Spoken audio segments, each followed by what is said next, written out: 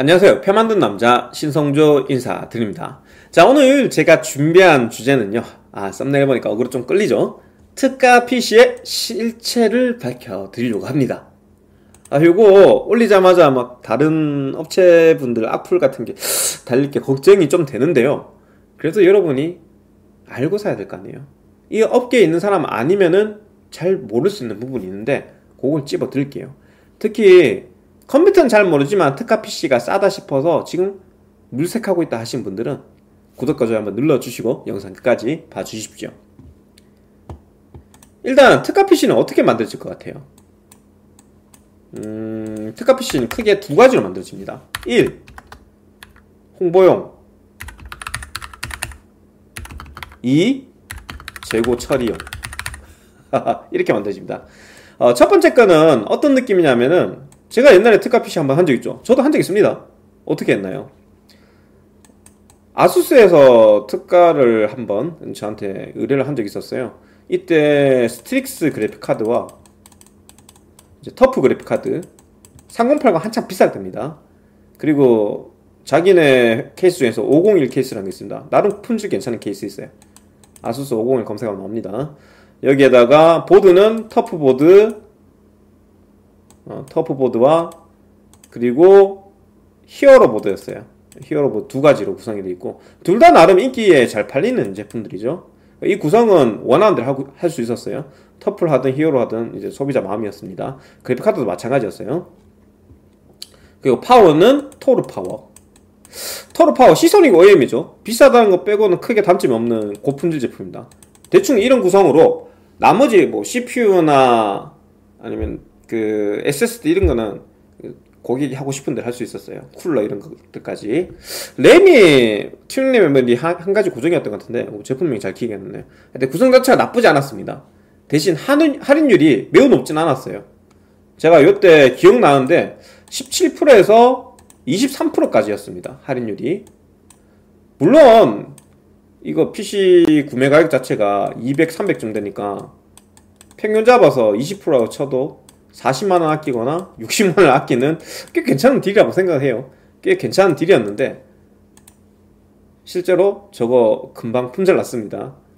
이틀 만에 제가 20대 구성했는데 싹 다 나갔어요. 싹 다 나갔는데 저런 홍보용은 살만한 것 같아요. 근데 미리 말씀드리지만 상시 특가하는 업체는 저런 홍보용 특가는 잘 없습니다. 왜 그러냐면 홍보용이란 뜻이 뭐예요? 아수스든 기가바이트든 MSI든 1년에 얼마의 홍보 비용을 쓰라고 예산이 떨어집니다. 광고 버짓이라 그래요.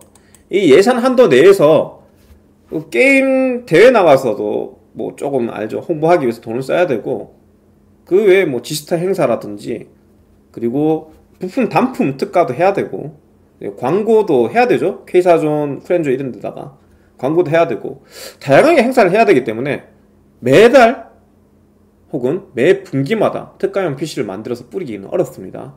그렇기 때문에 예산 한도가 있어서 상시 특가 그런 거 있을 수가 없어요. 없습니다. 결국은 여러분이 맨날 맨날 보는 그 특가는 보통 2번이에요. 재고 처리용. 내가 1번이면 사는 거 안 말려요. 근데 맨날 보는 특, 가는 보통 2번이에요. 2번이고 1번은 진짜 한 번씩 나와도 순식간에 순삭 당합니다. 바로 그냥 K사정 타세요 게시판 올라오고 핫딜이 올라오고 금방 순삭됩니다. 결국 대부분 2번일 텐데 2번이 골치 아파요. 일단 2번의 특성이 뭡니까? 2번의 특성은 구성품 변경이 불가. 특히 재고로 처리해야 되는 애들은 절대 변경 불가입니다. 이렇게 주문서를 딱 보면은 CPU 뭐로 정해져 있고 중간에 내가 막 바꾸고 싶잖아. SSD랑 SSD 너무 별론 거 들어갔어. 파워 너무 별론 거 들어갔어. 바꾸고 싶어. 근데 이거 변경이 안 되게 돼 있어요. 보드 이런 게 변경이 안 되게 돼 있다고요. 왜 안 되게 됐을까요? 저 특가 PC를 구성한 거는 결국 덤핑용 혹은 자사몰에 안 팔리는 악성 재고들이 포함되어 있기 때문에 그렇습니다. 그래서 이번 재고 처리형 특가는 감히 이렇게 말씀드리겠습니다 여러분한테 특별한 가격, 특별한 혜택을 드리는 가격이 아니에요. 그럼 뭔데요? 어디서 덤핑 받아 왔는 비인기 제품, 내가 할인받아서 샀으니까 어 이거 조금 조금 더 붙여가지고 여러분한테 저렴하게 보이기 위해서 재고 처분을 한 겁니다 특가가 아니야 그냥 재고 처분한 거야 재고 처분이기 때문에 여러분한테 조금 더 싸게 주는 것 뿐이고 상시 가격에는 절대 안 팔린 제품들이거든 그래서 맨날 여러분 특가 PC 보면은 파워 회사가 좀 이상한 데인데 여기 거 괜찮아요? 라고 자꾸 물어보고 SSD가 좀 이상한 게 들어가 있는데 이거 써도 고장 잘 안 나나요? 물어보고 혹은 보드가 저 CPU 커버가 되냐? 싶은 게 들어가 있어요 아니면 이제 좀 선호하지 않는 브랜드 거 있잖아요 뭐 Biostar 이런 거 이런 거 Colorful 이런 거 이런 거 막 들어가 있다든지. 아니면 아수스 거라 하더라도 PRIME 시리즈 같은 거 좀 인기가 없는 보드들 그런 게 들어가 있는 경우 많죠. 그래서 일단 이번 특가는 웬만하면 구성하지 않 구성, 아니 구매하지 않는 게 좋다고 생각해요. 구성품 변경이 변경이 불가능하고 어, 앞만 봐도 영 별로인 제품이 몇 개나 포함되어 있다면. 자 그렇게 얘기하는 순간 뭐라 그럴게요 아니 1번은 잘 없다 그러고 2번은 사지 말라 그러면 결국은 특가 PC 사지 말라는 거네. 시성조 씨는 특가 PC 잘 안 한다고 어, 새 거만 판다고 하지 말라는 거네. 아 그렇게 아니 곱게 생각하지 마시고 사도 되는 특가 PC가 있다고 생각은 합니다. 그럼 그걸 어떻게 구분하는데요? 아 졸라 어려워요. 네 여러분들 설명을 못하겠습니다. 아 부품을 볼 수 있는 일단 시선이 있어야 돼요. 어느 게 그래도 이 정도면 쓸만하고 아 이거는 진짜 쓰면 안 되는 수준인데 이걸 구분할 줄 알아야 돼요. 할 줄 모른다? 할 줄 모르면 솔직히 안 사야 되는 게 맞습니다. 하지만 그 부품을 구분할 줄 몰라도 어떻게 살 수 있는 방법을 한 가지 딱 알려드리겠습니다. CPU하고 그래픽카드는 특히 그래픽카드 같은 경우에는 이게 하급이라도 못 쓰는 제품 같은 건 사실상 없거든요. 소음이 조금 더 심해지거나 고주파 빈도 올라가거나 그럴 수는 있어요 온, 온도가 올라가거나? 그럴 수 있는데 하급이라고 못 쓰는 거 없습니다. 그래서 그래픽카드 가격과 CPU CPU는 어차피 인텔 아니면 AMD인데 어, 여기에 조금 비인기 들어간다고 성능에 문제 있진 않죠. 요 두 개 가격이 전체 가격의 80%에 다 다른다면 단화 최저가 기준으로. 그러니까 내가 100만원짜리 특가 PC 샀는데 CPU하고 그래픽카드만 단화와 최저가로 80만원이나 하더라. 그럼 구매하지 말고 주시면 됩니다 계산기 그냥 두둥겨 보세요 120만짜리 사면 얼마죠? 90만원치인가요? 하여튼 이 계산기 한번 두둥겨 봐요 두둥겨 보고 이 두 개 가격만 대략적으로 80%에 다다르면 그냥 질러듭니다 이유가 있는데 남은 부품 뭐 있습니까? SSD 케이스 쿨러 파워 램 보드 이렇게 될 텐데. 얘네들 다 합쳐가지고 40만원 45만 정도는 해요. 대충 계산해도. 좀 괜찮은 부품의 품질 사면 50만원쯤 하고요. 뭐 7500 같은 거 쓸 때 기준으로 얘기합니다. 그래서 얘들이 4, 50만원은 그냥 할 텐데. 이거 다 구성하고 20만원치로 저거 못 사잖아. 4, 50만원치를 그냥 주면 덜컥 사도 되는 거예요 여기서 안 좋은 게 한두 개가 섞여 있다고 한들 바꿀 수가 있잖아. 아니 견적에서 수정 안 되던데요. 어 이거 SSD나 램 같은 경우에는 바꾸기 쉬워요. 쿨러도 쉽고. 다만 이제 어, 보드가 너무 저품질 들어가 있는 거 일단 걸러야 돼요. 파워도 너무 저품질 들어가 있으면 걸으세요. 이 두 개는 너무 저품질 들어가 있으면 머리가 아픈 게 보드가 추가금이 엄청 많이 들어가요 저품질 제품하고 고가형 제품하고 막 아, 고가형이 아니라 중가형 괜찮은 제품하고 10만 원씩 차이 나는 경우가 꽤 많기 때문에 내가 중고로 팔고 살려면 10만 원 차이 난다니까? 다나와 최저가로 보면 5만 원 6만 원 차이겠지만. 그래서 보드는 비용이 비싸서 이게 너무 안 좋으면 일단 제껴셔야 되고요. 파워 같은 경우에는 선정리 새로 하고 조립하려면은 거기에 품이 너무 많이 들어갑니다. 시간이 많이 걸려요. 그렇다고 내가 조립할 줄 모르고 업자한테 맡기면 배보다 배꼽이 더 큰 상황이 생겨요. 조립비만 5만 10만 원 깨진다니까요. 그래서 이 두 개가 너무 저품질인 거는 가면 안 됩니다 다만 그나마 교체가 쉬운 SSD 메모리 좀 저품질인 거 무시해도 되고요. 케이스 좀 저품질인 거 그냥 옆판 읽었으면 됩니다. 쿨러는 자가 교체가 그리 어렵잖아요.